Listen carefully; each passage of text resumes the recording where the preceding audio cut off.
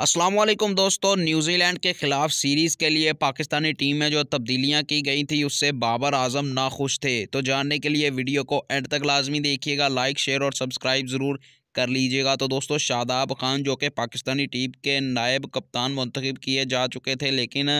New Zealand के ख़िलाफ़ series में नायब कप्तान शान मसूद को बना दिया गया था जो कि नजम सेठी की तरफ से था तो दोस्तों बाबर आजम नजम सेठी के इस फैसले से नाखुश नज़र आए उन्होंने अपनी एक प्रेस मीटिंग में कहा कि शान मसूद से बेहतर नायब कप्तान तो फ़खर जमान हैं क्योंकि फ़खर जमान इस वक्त बहुत अच्छी फॉर्म में हैं और पाकिस्तान के सबसे ज़्यादा स्कोर करने वाले ओपनर भी बन चुके हैं और फ़खर जमान के मतलब बाबर आजम ने कहा कि ये शान मसूद से बेहतर कप्तानी कर सकते हैं और आपके ख्याल में फ़खर जमान नायब कप्तान मंतखब होने चाहिए या नहीं